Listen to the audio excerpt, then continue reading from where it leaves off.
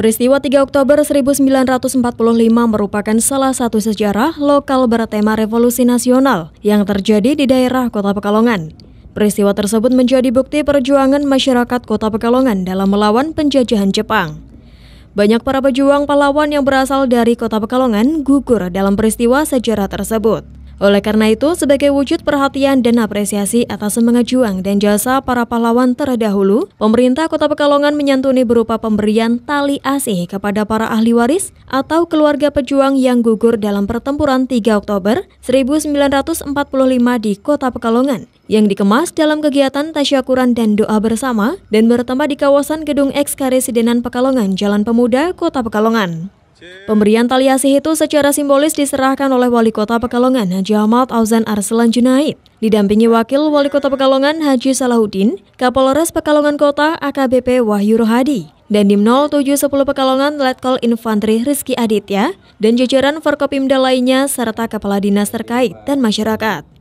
Usai menyerahkan, Wawalkot Salahuddin menjelaskan bahwa dalam peristiwa 3 Oktober 1945 silam, bisa dipetik pelajaran bahwa di tengah kesulitan yang ada pada saat itu, namun semangat juang yang dikorbankan para pahlawan terdahulu begitu tinggi untuk melawan dan mengusir penjajahan.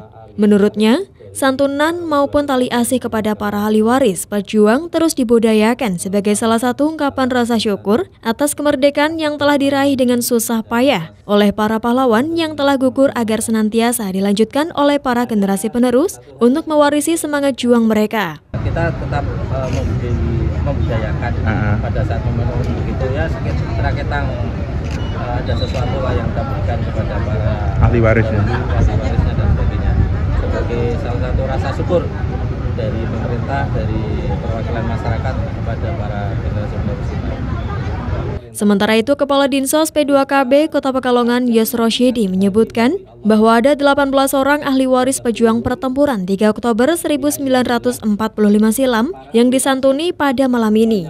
Mereka diberikan tali asih berupa uang tunai senilai 2 juta rupiah dan paket sembako dari pemerintah Kota Pekalongan.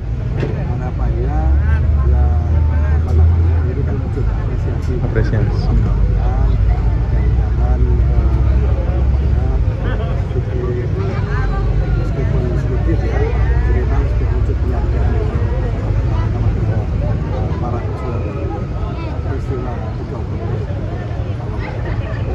Saif Robani, Patik TV, melaporkan.